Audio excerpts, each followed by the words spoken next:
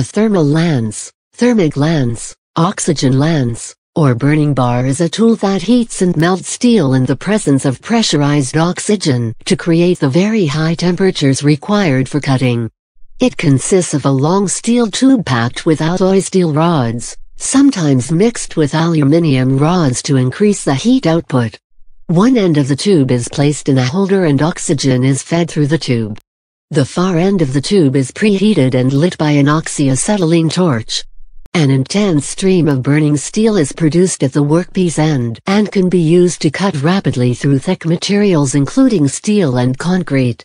The tube is consumed, so every few minutes the operator shuts off the oxygen, discards the remaining stub of a lance tube and starts using a new one. Although often used as a heavy-duty demolition tool, the thermic lance can also be used to remove seized axles of heavy machinery without damaging the bearings or axle housing. This technique is most often used on the pins and axles of large equipment such as cranes, ships, bridges and sluice gates. The temperature at which a thermal lance operates varies depending on the environment. Caution gives the maximum temperature to be 8130 degrees Fahrenheit 4770 K, while Wang calculates it to be 4950 degrees Fahrenheit 3010 K. Popular depictions of thermal lances sometimes exaggerate their capabilities. In the movie The Score Nick Wells, played by Robert De Niro, uses a thermal lance to cut a hole in the top of a safe to avoid the safe's glass locker device.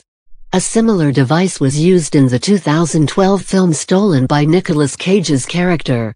Mythbusters tested the capabilities of the thermal lance and discovered opening a modern safe with a thermal lance takes far longer than depicted in popular accounts.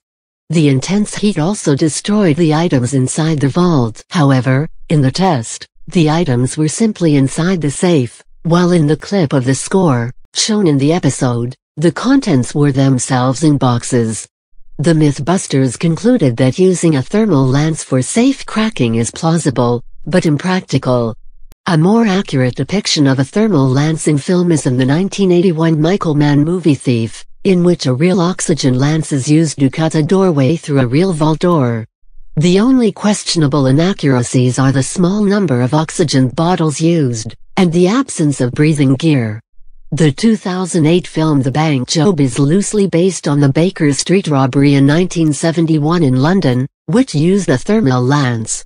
In the film, the robbers successfully use a thermal lance to cut a hole from underneath the reinforced concrete floor of the safe deposit box vault.